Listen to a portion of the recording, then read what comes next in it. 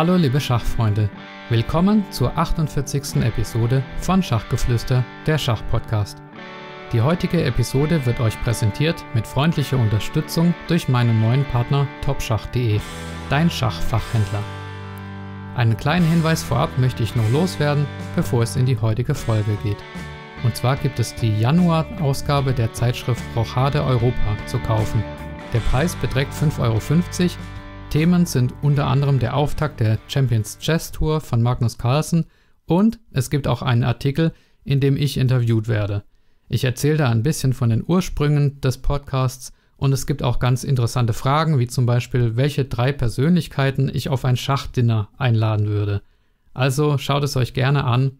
Und ja, ansonsten möchte ich euch auch noch auf meine Homepage einladen, www.schachgeflüster.de mit UE da kann man sich unten auf der Startseite auch für einen Newsletter registrieren. Außerdem gibt es am Ende dieser Episode wieder ein kleines Gewinnspiel. Es geht um das, was mein Interviewgast gesagt hat, also passt gut auf und bleibt nach dem Interview noch kurz dran. Alles klar, dann viel Spaß mit dem besten Schachspieler Deutschlands.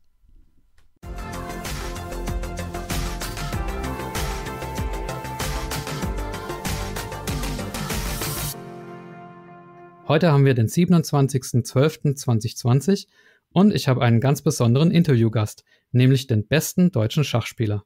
Er ist 23 Jahre jung und mit einer Elo-Zahl von derzeit 2670 auf dem besten Wege in die Weltklasse vorzustoßen.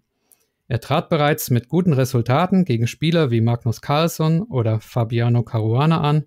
Er ist deutscher Nationalspieler, er ist amtierender deutscher Blitzmeister und Gewinner des German Masters. Vor ein paar Tagen gewann er die Bronzemedaille bei den Online-Blitz-Europameisterschaften. Hallo und ein herzliches Willkommen, die deutsche Nummer 1 Großmeister Matthias Blübaum. Hallo, vielen Dank für die Einladung. Ja, danke erstmal für die Zusage, Matthias. Äh, weiß ich sehr zu schätzen. Du bist in Gedanken ja bestimmt noch ein bisschen bei den Online-Blitz-Europameisterschaften, die du vor ein paar Tagen absolviert hast. Erzähl mal, wie ist das für dich gelaufen? Ähm, gut, also das Schwierige war, denke ich, beim Turnier hauptsächlich unter diese Top 16 zu kommen, in das Knockout. Ich habe am Anfang, glaube ich, sogar relativ gut gespielt und dann irgendwann habe ich in den letzten Runden noch fast den Faden verloren von dem Qualifikationsturnier. Ich habe dann noch zwei Runden in Folge verloren und war dann schon fast wieder draußen.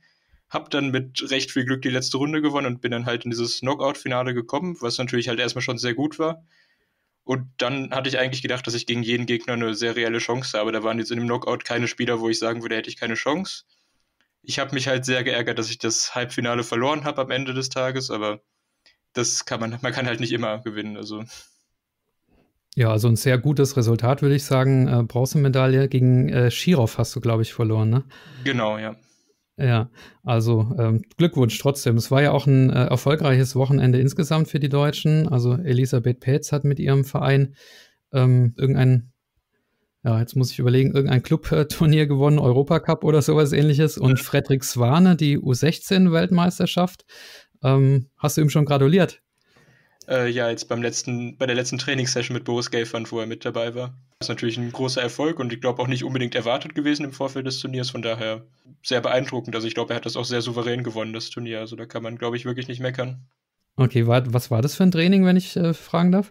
Ähm, wir hatten ja schon mal im Laufe des Jahres vom Deutschen Schachbund organisiert, dass äh, der Gelfand mit den Kaderspielern trainiert. Und da war jetzt eben auch jetzt beim letzten Mal Frederik dabei.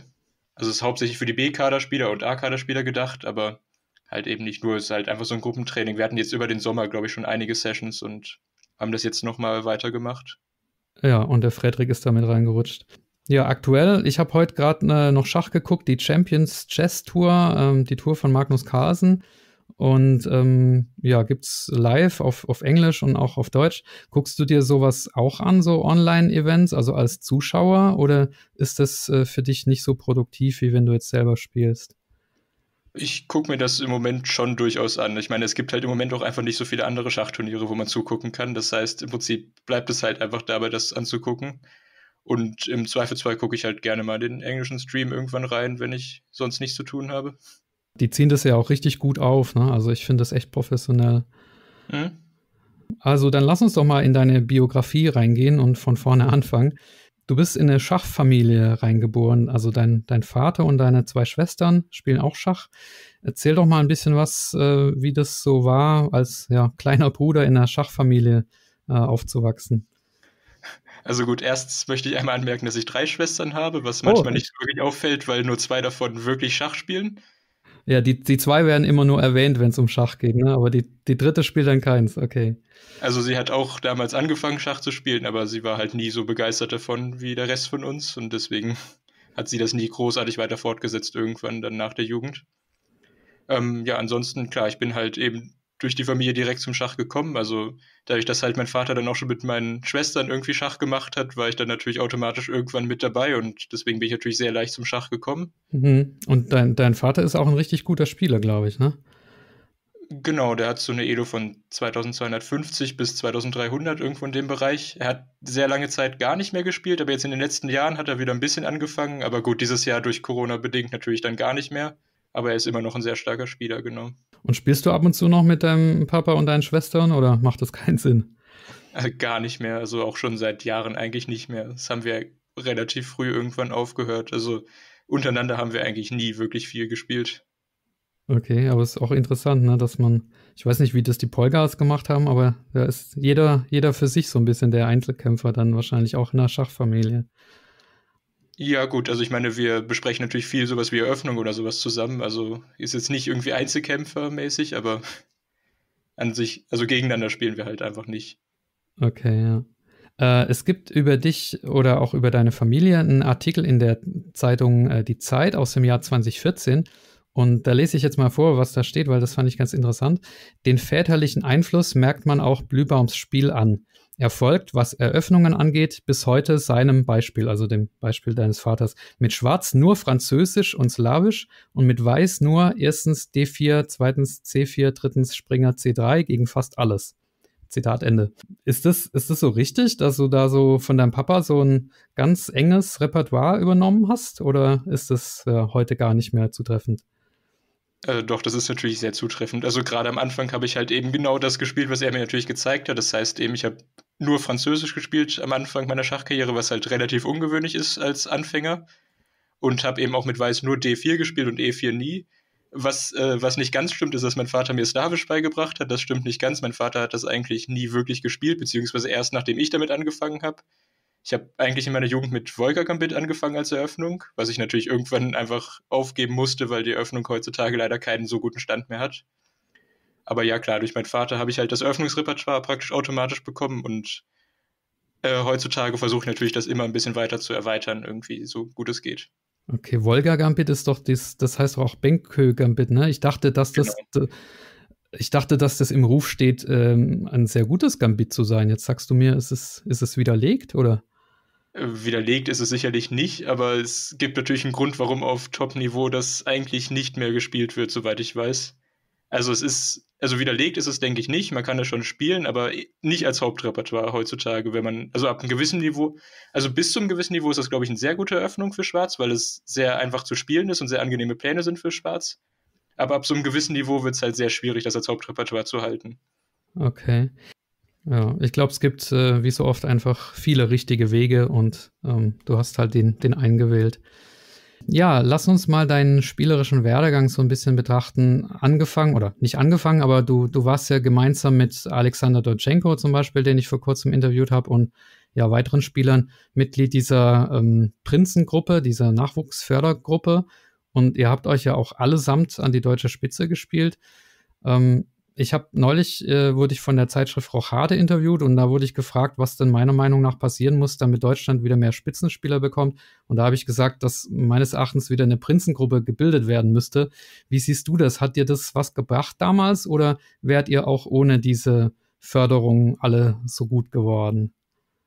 Also ich denke, damals war die Prinzengruppe eine sehr gute Möglichkeit für uns, sich zu entwickeln. Also ich kann natürlich jetzt nicht im Nachhinein sagen, dass ich mich ohne die Prinzengruppe nicht entwickelt hätte. Das kann man halt hinterher einfach nicht mehr sagen. Aber auf jeden Fall ist es natürlich nicht schlecht, eine gewisse Förderung zu bekommen durch die Prinzengruppe. Also ich denke, ich, ich habe da nur sehr Positives zu berichten über die Gruppe. Also ich war halt, hatte halt sehr viel Glück, dass es bei mir genau gepasst hat, alles damals.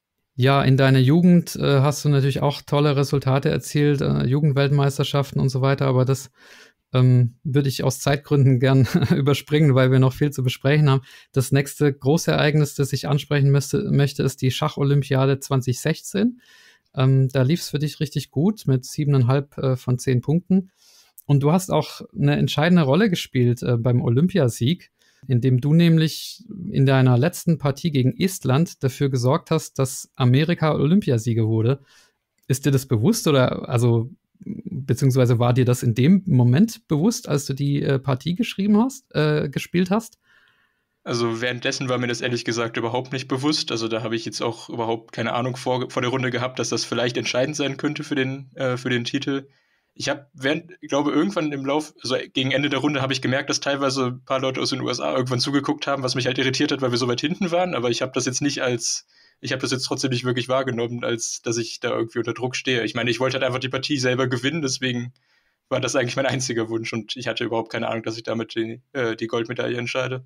Ja, also ich muss es vielleicht nochmal erklären, ähm, wenn du jetzt nur Remis gespielt, also nur in Anführungszeichen Remis gespielt hättest, dann wäre die Ukraine Olympiasieger geworden und durch dein Gold, äh, äh durch deinen Sieg äh, haben letztlich die Amerikaner äh, Gold bekommen aufgrund dieser, dieser Feinwertung.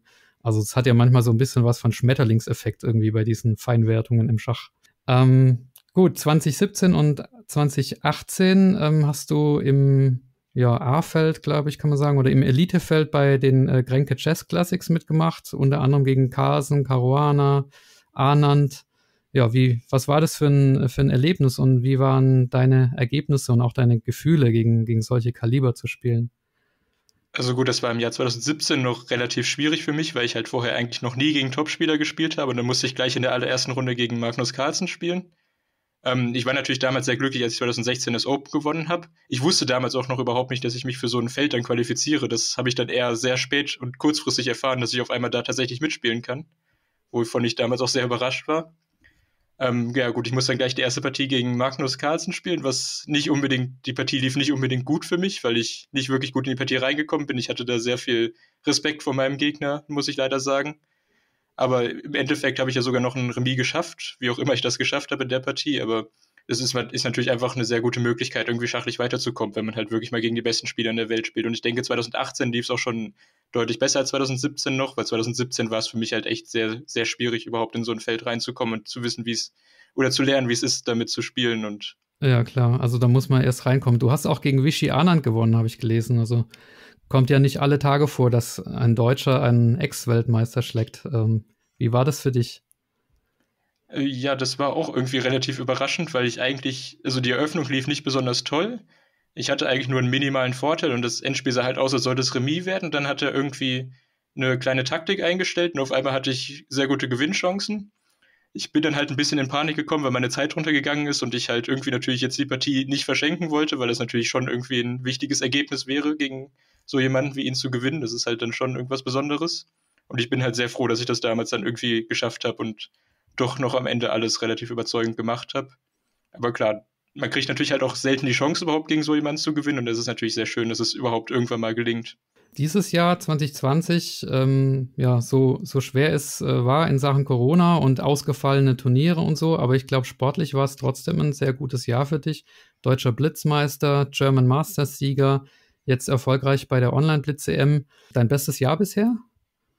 Ich denke, das könnte man so sagen, ja. Also ich glaube, in diesem Jahr lief alles relativ gut. Also vielleicht war 2016 auch ein sehr gutes Jahr damals für mich, weil ich da halt das Kränke Open gewonnen habe und bei der Olympiade sehr stark gespielt habe zum Beispiel. Aber in diesem Jahr kann ich mich wirklich nicht beklagen. Also in den Turnieren, die ich gespielt habe, lief es eigentlich fast immer sehr gut für mich. Ja, kommen da manchmal Überlegungen auf, Mensch, ähm, hätte ich vielleicht doch voll auf die Karte Schach setzen sollen und Schachprofi werden? Also du, du studierst ja. Ähm, ja, also ich gerade jetzt in der Corona-Zeit bin ich sehr froh, dass ich das Studium nebenbei habe, weil gerade auch jetzt wieder die Monate, ich meine, es gibt jetzt halt praktisch wieder fast keine Turniere. Und deswegen ist es halt sehr gut, dass ich halt tatsächlich irgendwas anderes machen kann und nicht im Prinzip jetzt einfach nur praktisch nichts spielen kann, weil es keine Turniere gibt. Deswegen bin ich wirklich sehr froh, dass ich das Studium im Moment habe. Ich kann natürlich nicht wirklich beurteilen, ob ich vielleicht irgendwie weitergekommen wäre oder schon weiter wäre, wenn ich das nicht angefangen hätte, aber ich bin eigentlich sehr zufrieden damit, dass ich, mit der Entscheidung. Und so typische Sachen, die andere Schachprofis jetzt machen, wie einen Twitch-Kanal eröffnen oder kommentieren oder so, das äh, wird man von dir dann wahrscheinlich nicht sehen, ne, weil du dein, dein Studium noch betreibst gerade. Oder hast du da Ambitionen? Ja, aktuell habe ich noch keine besonderen Ambitionen damit anzufangen. Ich habe natürlich auch gesehen, dass sehr, sehr viele damit inzwischen angefangen haben. Aber ich glaube, ich habe im Moment noch genug Beschäftigung durch das Studium nebenbei, dass ich damit jetzt wahrscheinlich aktuell nicht anfangen werde. Ein, zwei Nachfragen zum äh, Studium. Also du studierst äh, Mathe in Bielefeld. Wann, wann bist du fertig und was willst du danach machen? Gut, mit dem Fertigwerden ist natürlich immer schwierig, eine offizielle Ansage zu geben, aber ich würde sagen, dass ich aller spätestens äh, im Jahr 2022 fertig werde mit dem Master. Ähm, ansonsten, was ich damit wirklich machen möchte, weiß ich ehrlich gesagt immer noch nicht. Also aktuell besteht auch immer noch die Chance, dass ich nach dem Abschluss des Masters, also den möchte ich auf jeden Fall abschließen, dass ich dann halt sage, ich möchte jetzt nochmal ausprobieren, wie es ist, vielleicht für ein oder zwei Jahre wirklich voll Schachprofi zu sein. Aber das muss ich dann halt sehen, wenn es soweit ist. Ja, dann drücke ich dir die Daumen, dass das äh, schnell klappt mit deinem Studium und dass du es dann vielleicht tatsächlich nochmal ausprobierst. Wie machst du das jetzt äh, momentan? Gut, momentan ist eine Sondersituation, aber jetzt äh, generell gesprochen, also es sind ja zwei Dinge, die ja vielleicht keine Vollzeittätigkeiten jeweils, die man äh, acht Stunden am Tag machen muss, aber doch zwei sehr intensive Tätigkeiten, so ein Studium und, und äh, Schach. Wie vereinbarst du das äh, nebeneinander? Wie, wie gliederst du da deinen dein Tag?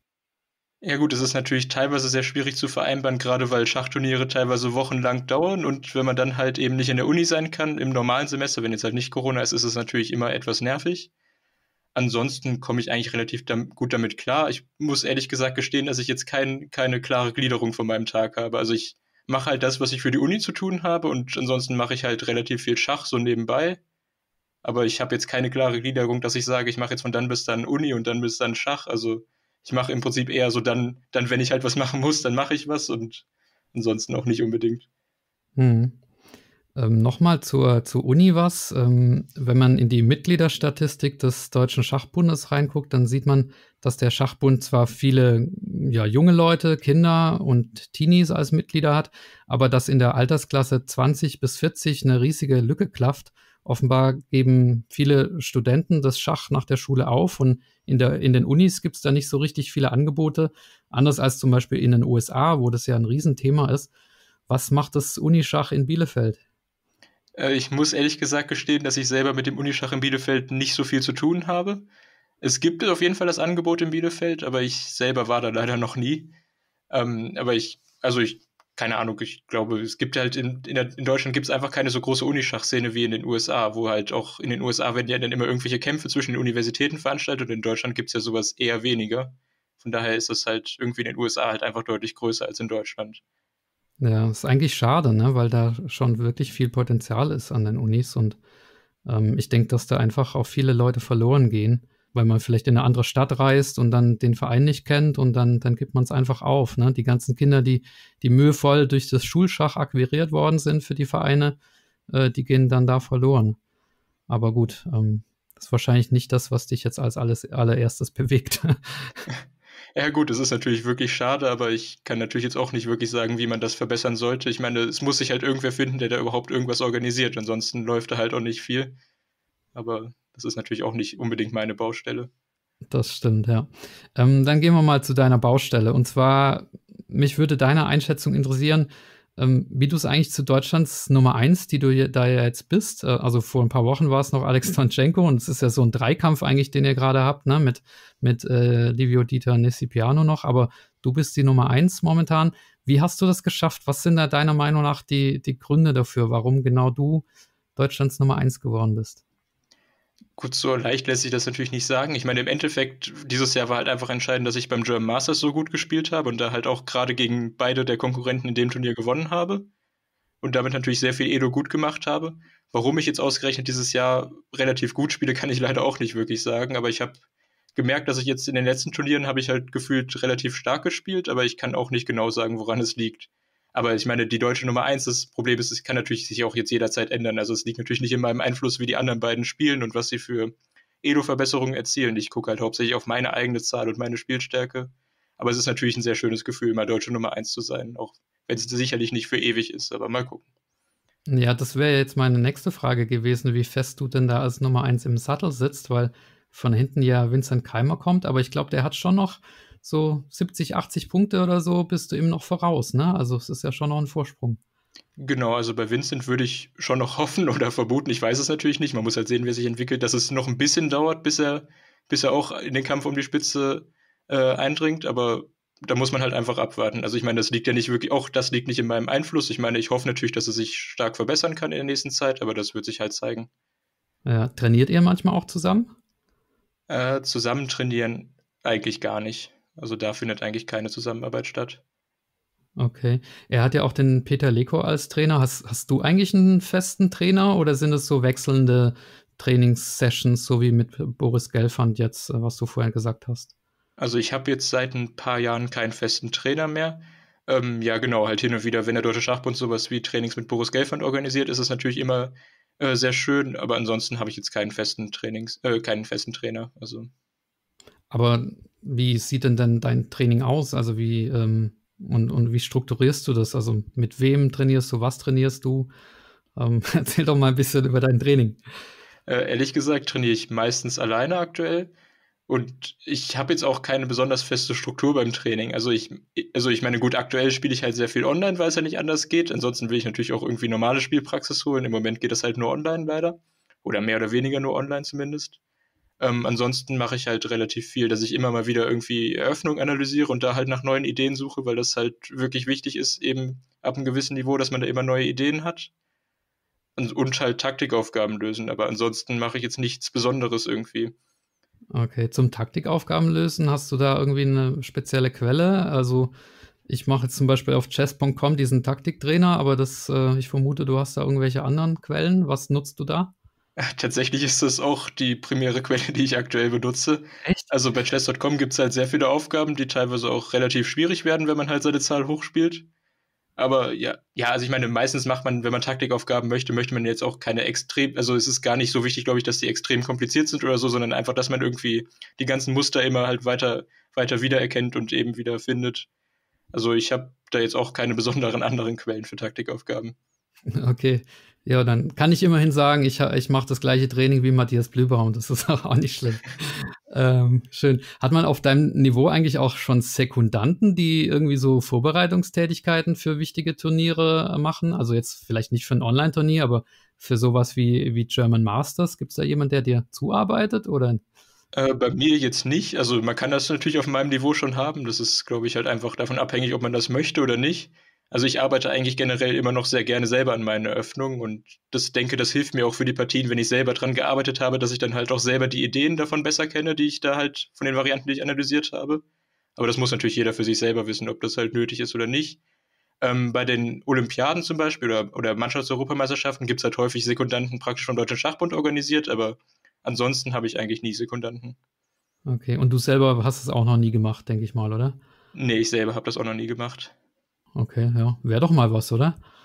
Gut, muss man halt gucken. Also es muss natürlich dann auch irgendein Spieler auf einen zukommen, der das halt möchte. Also. Ja, okay, ja. War nur so eine Idee. Ähm, machst, du, machst du außer Schach eigentlich sonst noch irgendwie äh, Sport? Also physischen Sport, sag ich mal? Ich versuche natürlich schon, mich immer mal wieder zu bewegen, aber es ist jetzt nicht so, dass ich irgendwie ein besonders festes anderes Hobby habe, was ich jetzt regelmäßig, also wo ich jetzt regelmäßig aktiv irgendeine Sportbeschäftigung nachgehe. Okay. Ähm, Nochmal zu, zu den Eröffnungen oder zu den Tools vielmehr. Ähm, ich höre ja manchmal diesen Kanal von Chessbase India. Ich weiß nicht, ob du den äh, auch kennst mit Salah hm. Shah. Klar, den kenne ich. Ähm, ja, ähm, der ist echt gut. Der, der sagt äh, immer, dass alle Spitzenspieler, muss er wahrscheinlich sagen, ne, weil er ja bei Chessbase arbeitet, aber ich glaube es ihm auch, dass alle Spitzenspieler immer mit, äh, mit äh, Chessbase arbeiten und damit ihre Eröffnungen und Partien analysieren. Ist das bei dir auch so? Hast du dir dieses neue Chessbase 16 ist es, glaube ich, hast du dir das zugelegt? Also ich arbeite auf jeden Fall auch schon, seit ich denken kann, mit Chessbase. Ähm, ich habe die aktuelle Version von Chessbase 16 habe ich, glaube ich, nicht. Allerdings habe ich auch das Gefühl, dass die meisten Chessbase-Versionen sich gar nicht mehr so stark unterscheiden. Also zumindest nach meinem Ermessen. Ich möchte jetzt niemanden vom Kauf oder sowas abraten, aber ich glaube, ich benutze aktuell die Version 14 und bin damit immer noch sehr zufrieden, obwohl ich 15 auch nehmen könnte, wenn ich das möchte. Aber ich bin halt eigentlich relativ zufrieden mit Chessbase und kenne eigentlich auch kein anderes Programm, mit dem man vernünftig arbeiten kann, wenn es um Analysen und Eröffnungen geht. Was würdest du, ähm, ich, ich denke immer an den normalen Vereinsspieler oder auch äh, Hobbyspieler, der vielleicht nicht im Verein ist. Hast du da irgendwelche Tools, wo du sagst, die sind, ja, die, die sollten bekannter sein oder die würdest du empfehlen für den Anfang? Oder sind es einfach die, die klassischen Sachen wie Bücher und, und äh, Online-Spiel? Gibt es da irgendein, irgendein Geheimtool oder so? Also ich glaube, ich kenne jetzt kein besonderes Geheimtool. Also wenn ich mich auf einen Gegner vorbereite, suche ich halt nach Partien von dem Gegner und mache dann praktisch eben dieses Eröffnungsrepertoire von den Partien anlegen und dann kann man halt so ein bisschen angucken, was er gegen die verschiedenen Züge macht. Aber ich habe ansonsten jetzt kein besonderes Tool oder so, was ich da kennen würde. Okay, ja, dann. Ja, erzähl doch mal was über, de, über dein äh, Spiel. Also Eröffnung hatten wir schon, aber ähm, was ist so in den späteren Partiephasen? Bist du eher so der aggressive oder der, der vorsichtige Typ, taktisch, strategisch? Ähm, wie würdest du dich da einordnen? Ich finde es ehrlich gesagt relativ schwierig, mich da selber einzuordnen. Also ich würde mich sicherlich nicht als den besonders aggressiven Spieler heraussortieren. Also ich bin jetzt nicht jemand, der alle Karten auf Angriff setzt oder sonst irgendwas. Ich versuche eigentlich immer irgendwie objektiv das Beste zu machen, zumindest soweit ich das halt verstehe. Ähm, ich würde, also grundsätzlich würde ich mich wahrscheinlich eher als positionell und solide bezeichnen, aber ich habe auch relativ viele Partien, wo es halt, wo ich halt, äh, oder wo es durch Taktik entschieden wird. Also kann da jetzt irgendwie keinen besonders klaren Spielertypen festmachen bei mir. Ja, okay. Und hast du ein schachliches Vorbild? Ähm, nicht wirklich. Ja, also ich habe auf jeden Fall halt kein klares Vorbild jetzt irgendwie schachlich. Also ich verfolge halt von eigentlich den meisten starken Spielern eben die Partien, aber es ist jetzt nicht so, dass ich da irgendwie ein besonderes Vorbild habe, sondern ich gucke mir eher bestimmte Ideen raus und wenn mich da irgendwas beeindruckt, dann gucke ich mir das natürlich an, aber es ist jetzt nicht so, dass ich von einem Spieler irgendwie alles abgucken möchte oder so. Wie machst du das jetzt praktisch? Also wenn du dich morgens hinsetzt und sagst, so jetzt, jetzt gucke ich mal die, die Partien äh, der letzten Tage oder der letzten Woche, ähm, wo loggst du dich da ein oder wo kriegst du die Partien her? Ähm, meistens verfolge ich die Partien im Moment bei Chess24, weil ich da das Design ganz gut finde zum Partien verfolgen. Wenn ich da allerdings Ideen finde oder irgendwas, was mich besonders beeindruckt, dann kann es halt sein, dass ich die Partie im Prinzip dann im Endeffekt doch bei Chessbase nachgucke, weil man damit, finde ich, besser analysieren kann. Und ansonsten, ja, ich, also ansonsten, ich klicke halt normalerweise die Partien so ein bisschen durch und wenn mich da halt irgendwo, wenn mir da irgendwas Besonderes auffällt, dann gucke ich mir es vielleicht halt spezieller an. Okay, weil da, es gibt ja auch diesen, äh, dieses The Week in Chess, was viele nutzen, aber ähm, das nutzt du nicht. Das nutze ich bisher gar nicht. Du kannst ja mal gucken, vielleicht gefällt es dir ja. okay. Ja. Ähm, hast du denn für die, für deine schachliche Zukunft irgendwelche klaren Ziele definiert oder Ambitionen, also die, die messbar sind? Ähm, was schwebt dir da vor? Ja gut, also aktuell möchte ich halt eben definitiv versuchen, irgendwie Richtung 2.7 weiterzukommen. Also ich bin ja in den letzten Monaten immer weiter, also jetzt bis halt 2.670 gekommen und hatte auch das Gefühl, ich kann durchaus noch ein Stück weiterkommen. Und das ist halt einfach mein nächstes Ziel, Richtung 2.7 zu kommen. Ansonsten habe ich jetzt keine klaren, konkreten Ziele oder sonst etwas.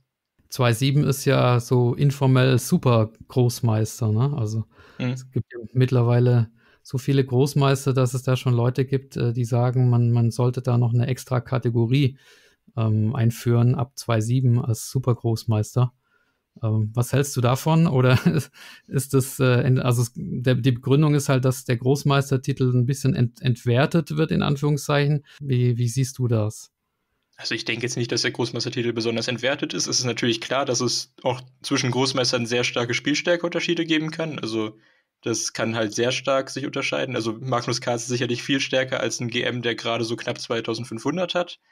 Aber ich würde jetzt trotzdem, also ich sehe jetzt keine Notwendigkeit darin, irgendwie einen neuen Titel anzufangen. Also es, für alle Schachspieler ist es ja auch relativ klar, dass jemand mit 2700 halt einfach eben noch mal eine kleine Stufe besser ist.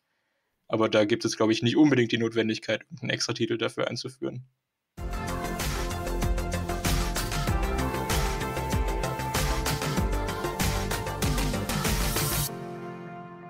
Ähm, wie sieht es denn in der Weltrangliste aus? Auf welchem Platz äh, bist du gerade und äh, was meinst du ist noch drin?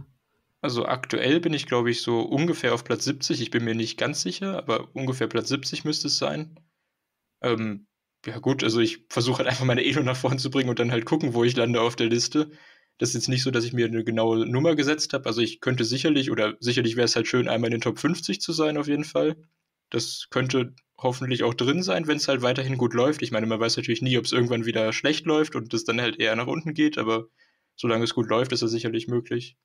Ja, drücke ich dir die Daumen. Also für mich, ich bin ja eher so am breiten Schach interessiert oder dass, dass das Schach noch äh, stärker Verbreitung findet. Für mich ist es, ähm, ja, ist jeder Spieler, den du durch deine Ergebnisse und durch deine äh, Auftritte zum Schachspielen inspirierst, äh, wichtiger als ein Fortschritt in der Weltrangliste. Aber trotzdem drücke ich dir dafür natürlich auch die Daumen. Das äh, schließt sich ja nicht aus, im Gegenteil.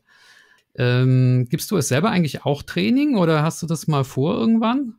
Also aktuell mache ich das gar nicht. Ich habe damit auch noch nicht wirklich Erfahrung gesammelt.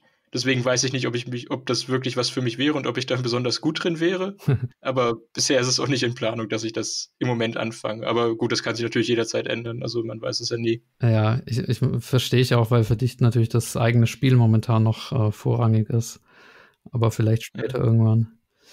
Ähm, ja, dann lass uns mal zu den Auswirkungen von äh, Corona kommen. Ich habe in der Vorbereitung gesehen, du bist normalerweise in sehr vielen Ligen aktiv, also neben der Bundesliga auch Niederlande, Frankreich, Österreich, Polen. Das sind ja alles äh, auch Einnahmen, die dir da entgehen und ähm, Turniere gibt es auch keine mehr. Was ja, bedeutet das für dich konkret jetzt? Gut, also ich meine, als Student erwartet man jetzt auch nicht die riesigen Einnahmen, deswegen komme ich persönlich relativ gut damit klar ist es jetzt für mich persönlich war es in diesem Jahr auch gar nicht so schlimm, dass jetzt extrem viel weggefallen ist, was an großen Einnahmen, die ich nicht hatte. Zum Beispiel die polnische Liga hat ja sogar auch stattgefunden im August. Ah, okay. Oder September, ja, September eher, trotz Corona, aber ansonsten, also ich hatte jetzt dieses Jahr persönlich nicht unbedingt ein großes Problem, dass da jetzt viel eingefallen ist. Und ich habe da jetzt auch nicht so das Problem, dass ich auf besonders viel angewiesen bin als Student. Also. Hm. Ja, BAföG kriegst du trotzdem, ne? Ja, BAföG kriege ich nicht, aber ich komme auch so klar. Okay, das ist, das ist gut, dass wir nicht äh, sammeln müssen für dich. Ähm, du hast auch so bei so Formaten mitgemacht wie äh, Geschwätzblitz von Chess24 zum Beispiel. Ähm, hat dir das Spaß gemacht? Was, äh, ja, ist das ein Zukunftsformat? Also ich meine, wenn wieder so ein Benterblitz Cup sein sollte, wie es halt jetzt eben war, würde ich wahrscheinlich wieder mitmachen, solange ich eingeladen werde es ist halt ein etwas anderes Format, als einfach nur selber da normal zu sitzen und zu spielen, weil man irgendwie dadurch, dass man währenddessen redet, halt doch immer ein Stück abgelenkt ist. Aber prinzipiell, solange es halt irgendwie für die Zuschauer interessant ist, das Format generell, ist es ja eine gute Sache. Und also wenn sowas nochmal stattfinden sollte, bin ich wahrscheinlich im Zweifelsfall wieder dabei. Also. Hm. Aber du magst es auch schon äh, oder hast nichts dagegen, online zu spielen, ne? Weil zum Beispiel der Alexander Donchenko, der hat mir in einem Interview gesagt, dass er es bei weitem äh, lieber mag, eben normal am, am Brett zu spielen. Wie sind da deine Vorlieben? Also wenn du jetzt die Wahl hättest zwischen einem Turnier am Brett und einem, und einem Online-Turnier. Also gut, wenn ich jetzt die konkrete Wahl hätte, dann hätte wahrscheinlich das Turnier am Brett irgendwie eine höhere Priorität. Einfach allein deswegen, weil man auch seine Elo weiter verbessern kann und irgendwie die Turniere am Brett meistens auch einfach generell irgendwie etwas wichtiger sind als Online-Turniere, auch nach wie vor. Aber ich meine, ich habe persönlich auch schon vor Corona relativ viel online gespielt und mache das nach wie vor gerne. Aber ich muss halt sagen, dass für mich Online-Schach meistens eine etwas andere Disziplin einfach ist als normales Schach. Also ich, das ist für mich einfach nicht das Gleiche. Also gibt natürlich schon einen großen Unterschied, aber ich mache beides gerne. Dann lass uns mal ein anderes Thema streifen. Und ähm, ja, ich muss vorweg sagen, normalerweise gehe ich mit meinen Gästen nicht so furchtbar tief in das Thema Schachpolitik, aber aktuell kommt man ja an ein oder zwei Fragen zum Deutschen Schachbund nicht vorbei. Es gab da zum Beispiel diesen offenen Brief von zwölf Nationalspielern, die die Entlassung des Bundestrainers gefordert haben.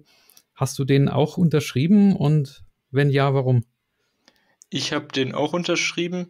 Ich glaube, bei mir ist es relativ klar, warum ich ein, schwieriges Verhältnis mit Dorian Rogozenko zumindest jetzt in den letzten Monaten hatte. Das kann man ja auch alles online nachlesen, da möchte ich jetzt gar nicht mehr unbedingt so viel weiter zu sagen. Ähm, ja, aber ich habe den auch mit unterschrieben und es gab halt offensichtlich außer mir eben auch sehr viele andere Spieler, die da im Zweifel zwei Probleme hatten. Wie, wie beurteilst du denn das generell, die Misere im Leistungssportbereich? Also es gibt ja viel Streit untereinander, Rücktritte. Wie ist da deine Position oder dein, dein, dein Wunsch vielleicht dazu? Oder was gibt es aus deiner Sicht zu sagen generell?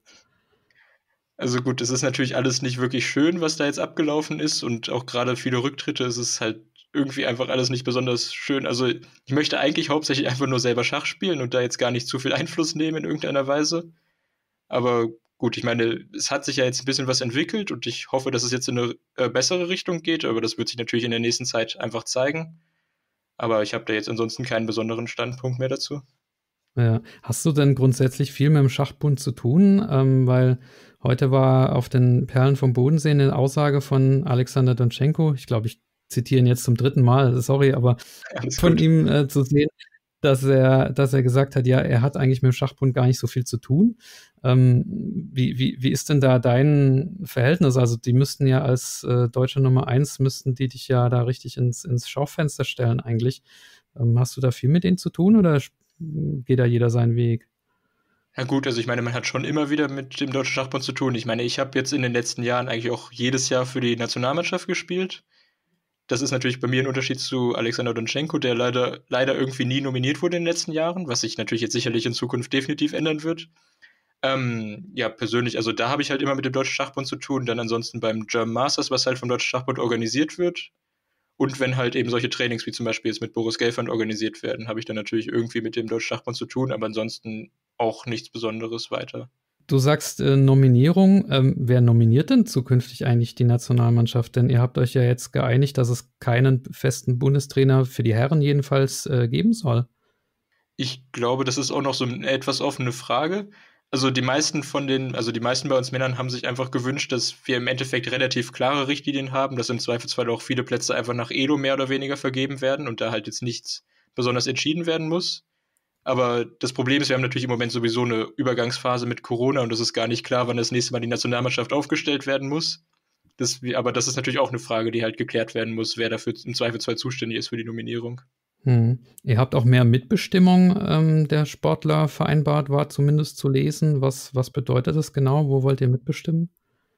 Ähm, also gut, das wurde zumindest irgendwie erstmal so locker vereinbart. Ich weiß auch nicht genau konkret, wo die Mitbestimmungen liegen werden also eine Mitbestimmung oder eine Hoffnung eben, das mitzubestimmen, war eben bei der Nominierung, dass es halt einfach klare Richtlinien gibt. Weil wir hatten in den letzten Jahren für die Nationalmannschaft jetzt keine klare Richtlinie, dass irgendwie gesagt wird, zumindest die ersten drei würden nach Elo oder sowas reinkommen, sondern meistens wurde halt im Prinzip irgendwie nominiert. Das hat sich zwar meistens auch mit den, äh, mit den Leistungen und Elo-Zahlen gedeckt, aber halt eben auch nicht immer.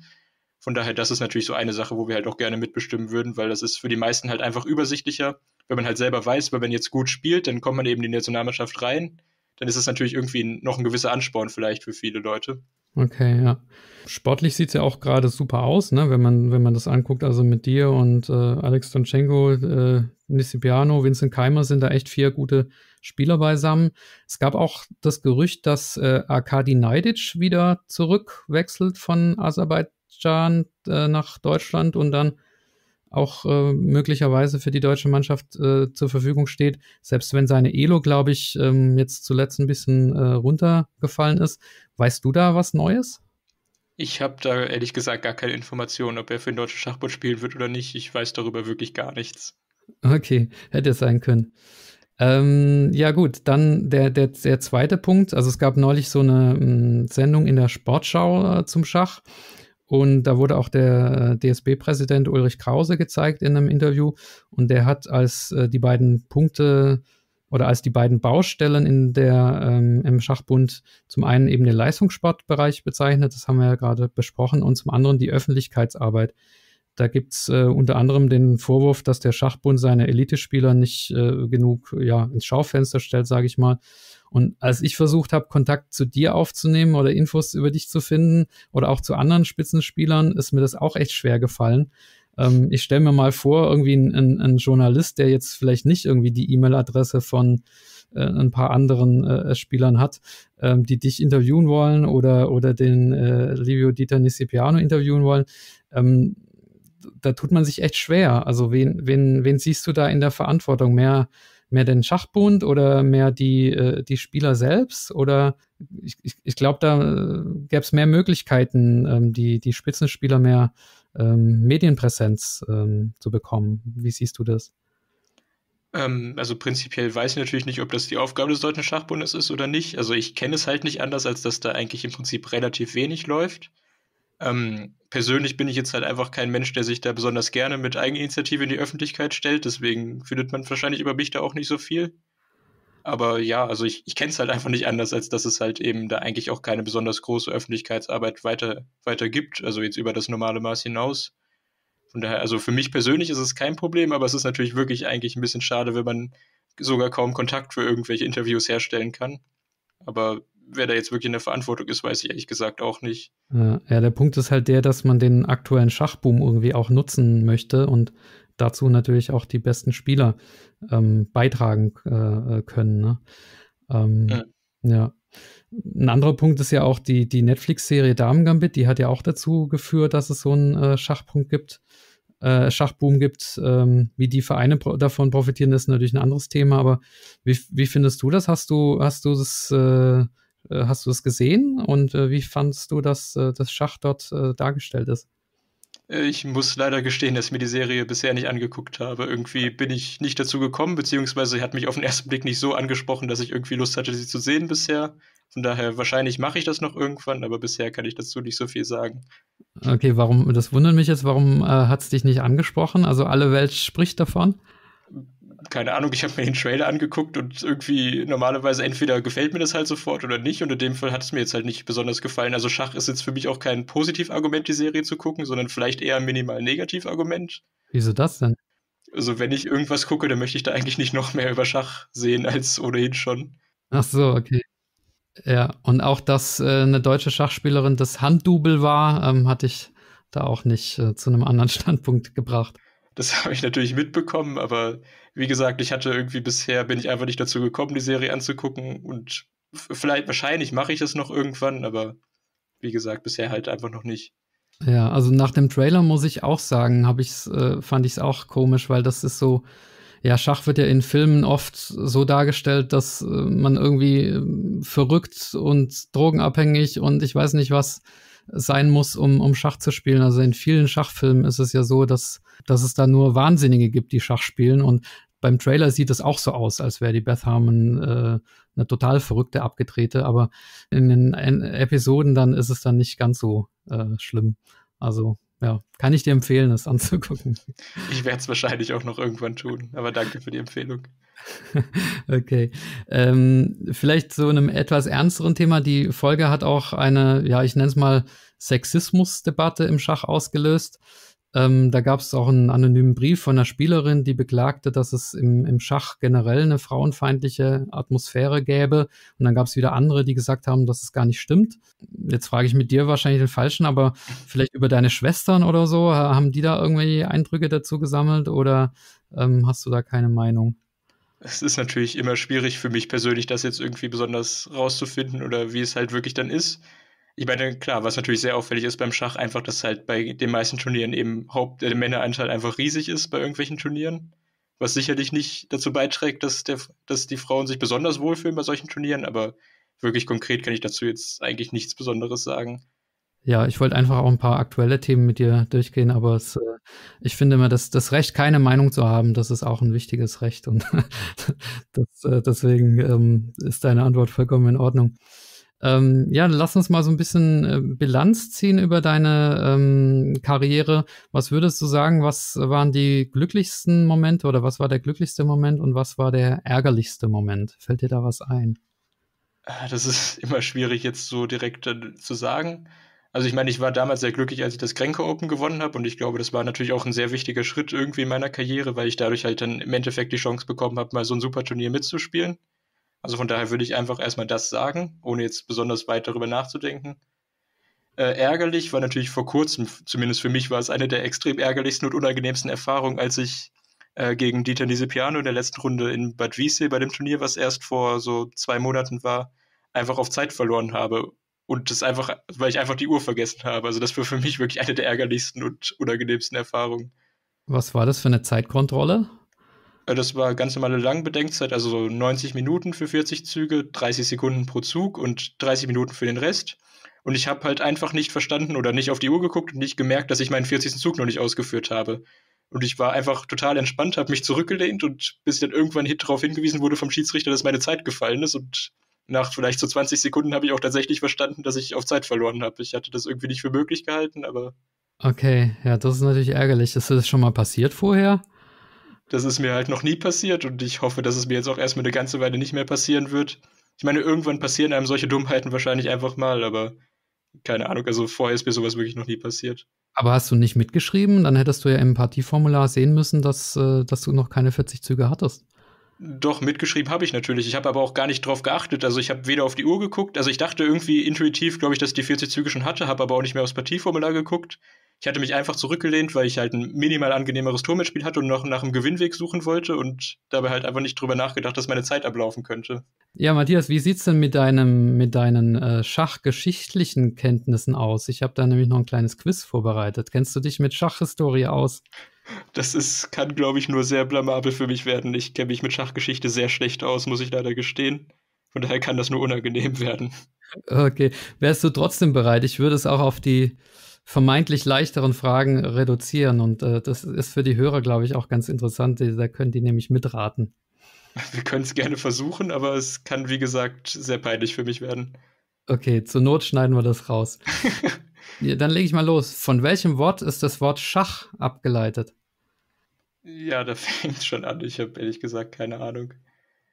Also wahrscheinlich irgendwas aus dem persischen Raum oder sowas, aber. Richtig, ja. Aber ich weiß halt eben nicht, von welchem Wort das abgeleitet ist. Ja, Schach für König. Also Schah hieß das. Okay. Das war das Wort für König, ja.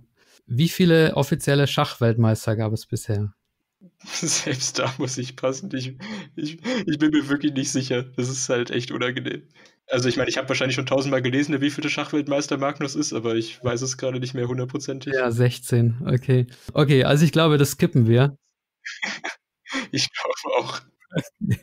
ja, aber das, das, das zeigt schon so ein bisschen, ne, dass, also als, als Spitzenspieler konzentriert man sich halt natürlich auf das Spiel. Ne? Du könntest mir wahrscheinlich irgendwie die siebte Untervariante von irgendeiner sizilianischen Öffnung nennen, aber ähm, so, ja, so Sachen wie Schachhistorie und so, die interessieren dich dann nicht so sehr.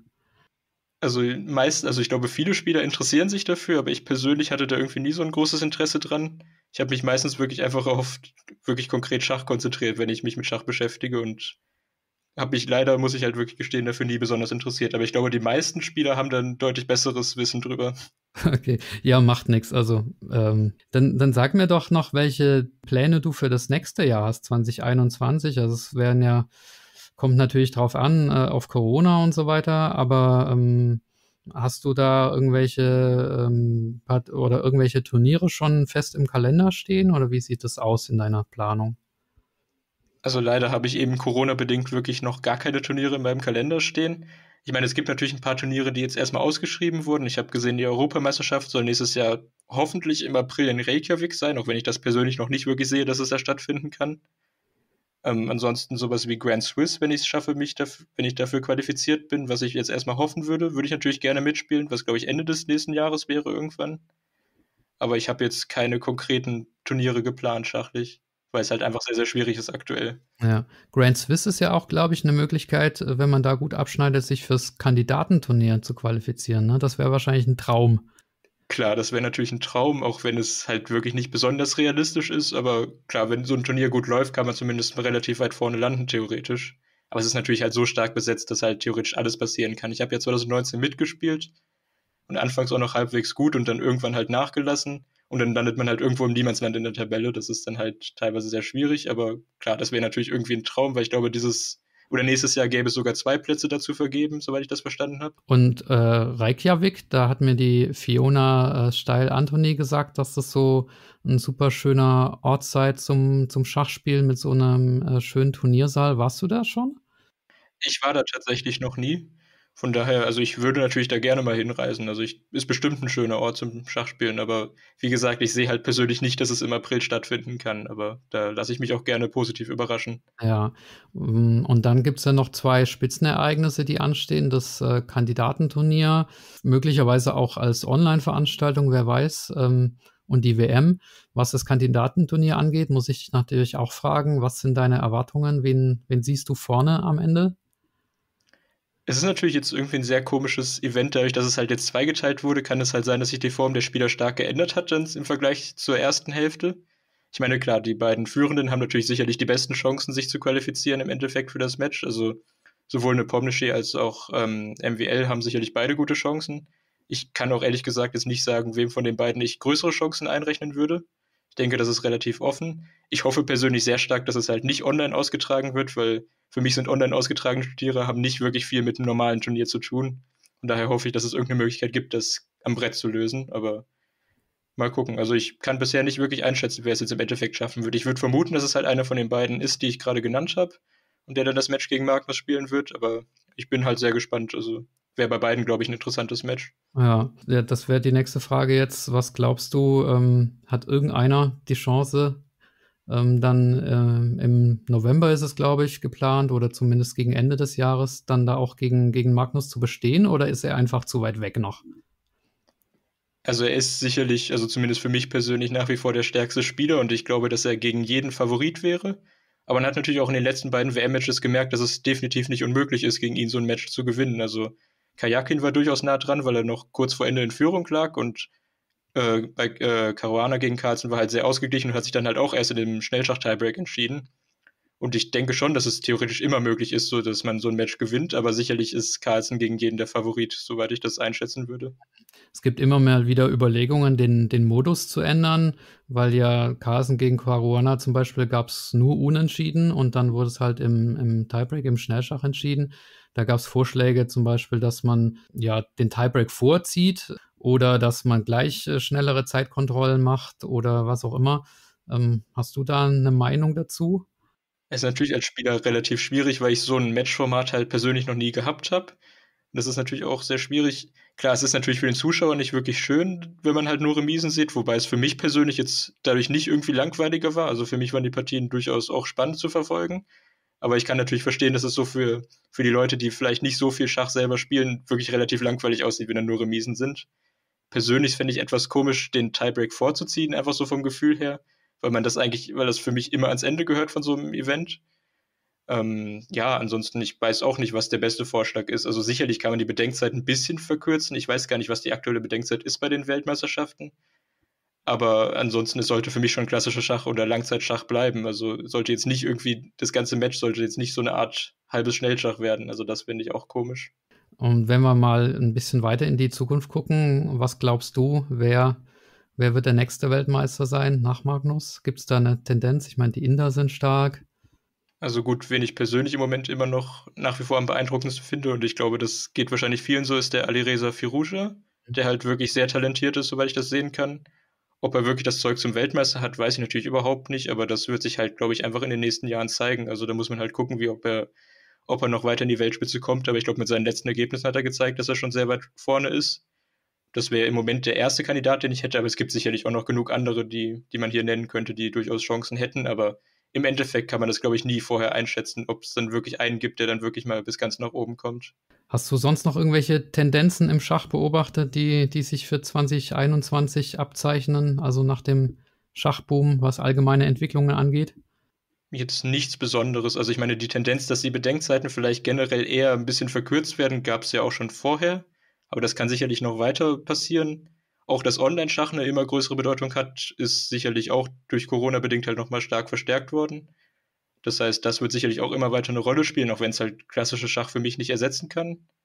Aber ansonsten habe ich jetzt keine weiteren besonderen Tendenzen, die ich sehe im Moment.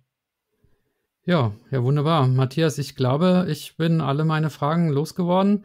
Haben wir noch was vergessen oder willst du noch eine, eine Botschaft loswerden an deine Fans und, und an die Zuhörer? Ähm, also ich denke, vergessen haben wir nichts. Also ich glaube, wir haben die wichtigsten Themen besprochen oder was es halt zu besprechen gibt. Ähm, eine besondere Botschaft habe ich nicht. Also ich freue mich jedes Mal oder ich freue mich immer, wenn halt viele Leute Schach spielen natürlich, aber Ansonsten habe ich keine besondere Botschaft. Ja, das ist doch die zentrale Botschaft generell, die wir, die wir hier alle ähm, gerade am, am Aussenden sind. Also das ist die wichtigste. Klasse. Ja, also ich kann nur sagen, es ist auch aus Fansicht ähm, immer schön, Turniere zum Beispiel wie die Online-Blitz-EM zu verfolgen, wenn da ein Deutscher vorne mit dabei ist, mit dem man mitfiebern kann. Finde ich immer viel schöner und äh, ja, ich finde es auch toll, wie du die diese beiden Herausforderungen, Schach und Studium, nebeneinander managst. Und beim Studium kann ich es nicht sagen, aber beim Schach jedenfalls auf sehr, sehr hohem Niveau. Und äh, wünsche dir da weiter viel Erfolg und Freude beim Spiel. Danke. Und äh, ja, mach's gut. Äh, vielen Dank, bleib gesund und äh, danke fürs Dabeisein.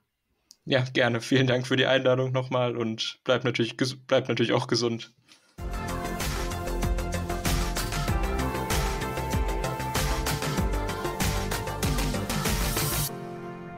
Ja, liebe Schachfreunde, das war Matthias Blühbaum. Ich hoffe, das Interview hat euch gefallen. Wenn ja, dann abonniert den Kanal auf YouTube, wenn ihr das noch nicht gemacht habt, oder tretet der Schachgeflüster Facebook-Gruppe bei. So, und jetzt kommt das versprochene Gewinnspiel. Zu gewinnen gibt es ein Set bestehend aus dem Schachroman Porträt des Meisters von Ulrich Geilmann, dem Buch Der Schachtherapeut Band 2 von Manfred Herbold und dem Schachmemo Duett am Brett sowie einem Skatblatt mit Schachmotiven. Die Frage, die ihr richtig beantworten müsst, lautet: Bei welchem Turnier verlor Matthias Blübaum gegen Livio Dieter Niscipiano, weil er die Zeit vergaß? Gesucht ist der Ort, an dem das Turnier stattfand.